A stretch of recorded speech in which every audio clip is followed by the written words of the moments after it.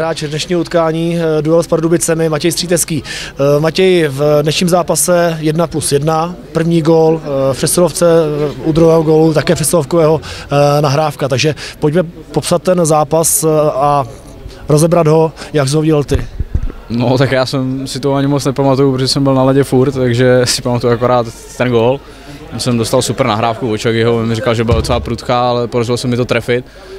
Před bránou to chtěl chytit jejich obránce, myslím, že právě Tronča prolítlo mu to mezi nohama a Golman nic neviděl, takže tomu taky zaplať pámu, takže pro nás štěstí. A potom ta druhá třetina byla trošku smolná z naší strany, že před eh, prvním gólem, který jsme dostali, jsme se tam zbytečně sami zavařili ve třetině, to byla škoda.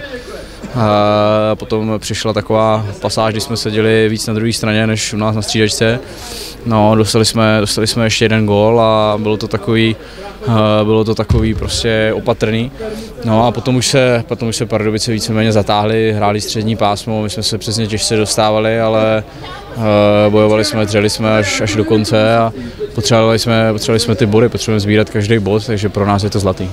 Eh, teď eh, ta vyrovnací branka, ta vlastně byla taky eh, po tvé střele, takže pojďme popsat, jak to tam se událo.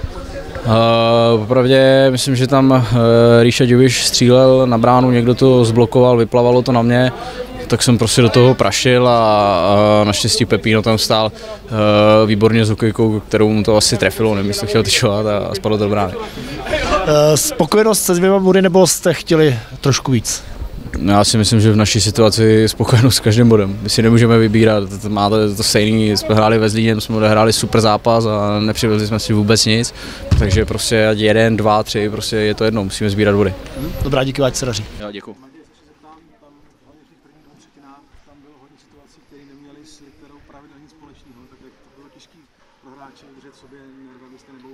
Sám moc dobře víte, že když k tomu něco řeknu, tak dostanu pokutu, takže takže díky za tuhle otázku, ale to bych asi nechal na někom jiném. Prostě tady to bych se k tomu nevyjadřoval. My jako hráči se s tím můžeme srovnat. Prostě uh, to, co se stane na ledě, tak nikdo už to zpátky neveme, ať je to jak chce a prostě my to můžeme jenom akceptovat, přizpůsobit se tomu a pracovat si.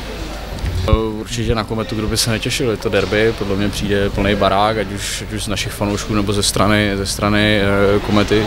Počítám, že tady bude plný barák, takže super zápas, kde se do toho zastavu 0-0 prostě a odmakáme to, uvidíme, jak to dopadne na konci. Jak jste se cítil v závěru zápasu, tam proti vám stál Poulíček bez hokejky, přesto vám tam zblokoval snad tři střely nebo kolik, jaký to bylo?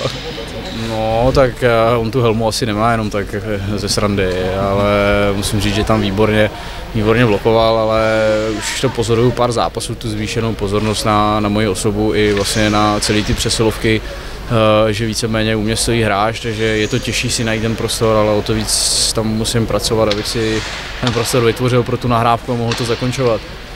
Že to zblokoval, tak to se prostě stane, no. pak, pak eh, jsme se hráli něco jiného a díky tomu jsme dali gola, no. takže asi tak bych to zhodnotil.